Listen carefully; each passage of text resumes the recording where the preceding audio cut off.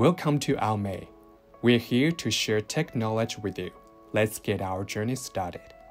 As we all know, when setting up a new disk on a Windows computer, we will receive a message saying you must initialize the disk before Logical Disk Manager can access it. That is to say, we need to initialize the new hard drive to either MBR or GPT before using it for data storage. Now, Microsoft announced that Upgrading from Windows 10 to Windows 11 requires the UEFI boot mode and GPT boot disk. Therefore, in this video, we explain the difference between GPT and MBR and introduce great MBR to GPT converters. MBR and GPT are two different partition styles for hard disks. MBR is an old hard disk style to manage the partitions while GPT is the latest standard for disk partition management. They mainly differ in the disk size, partition number limitations. For disk size, MBR disk only supports up to 2 terabytes in size, while GPT disk could support up to 18 exabytes in the capacity. When your MBR disk is over 2 terabytes, the rest space will be shown as unallocated space in disk management and it cannot be used. For partition number, on the MBR disk, you're allowed to create up to 4 primary partitions. To create more partitions, you need to make the fourth partition as an extended partition firstly, and then you can create more logical partitions. On a GPT disk, you can create 128 primary partitions at most. For data storage method, on the MBR disk, the partitioning and boot data is stored in one place, so if the data is overwritten or corrupted, the entire disk will be unusable. By contrast, the GPT disk saves multiple copies of data across the disk, so it is more robust and can be recovered when something goes wrong. Since GPT comes with the mentioned above advantages over MBR, you might need an MBR to GPT converter and here are three different converters for Windows users to convert MBR to GPT. Tool 1 Disk Management To free convert MBR disk to GPT disk via this tool, you need to first delete all partitions on the target MBR disk to make it an unallocated space. Then you can complete this conversion.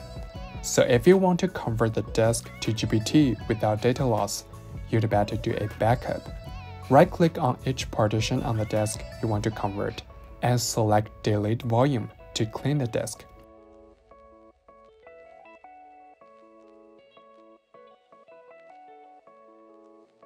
Right-click on the target disk and select Convert to GPT disk. After this, you can restore the data you backed up beforehand. The second tool is DiskPart. DiskPart also only supports converting an empty disk to GPT, so you need to delete all volumes on disk before using the free MBR to GPT converter. Type DiskPart and hit enter. Then run the following commands in turn and press enter after each one.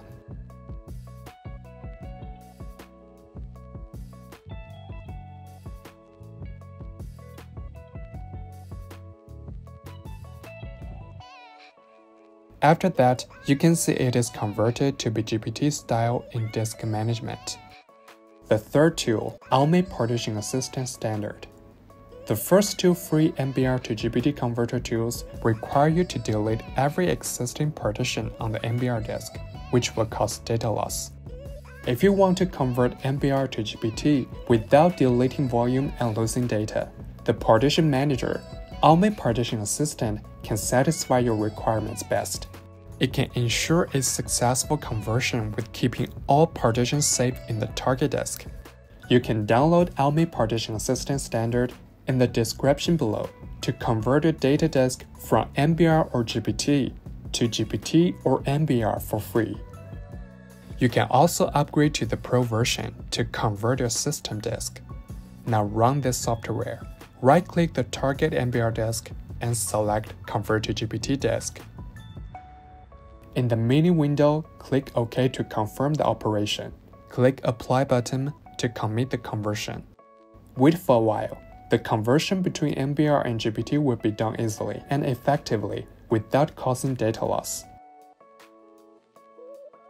Compared with Windows native disk management and DiskPart, AOMEI Partition Assistant is a better MBR to GPT converter. Besides, it can handle many other difficult disk management operations, such as cloning MBR disk to GPT, migrating OS drive to SSD or HDD, moving apps or folders to another drive, test hard drive speed, and more. Want to know more about AOMEI? Looking for more tech knowledge? Just subscribe us and leave comments. We're here to help you with your any issues.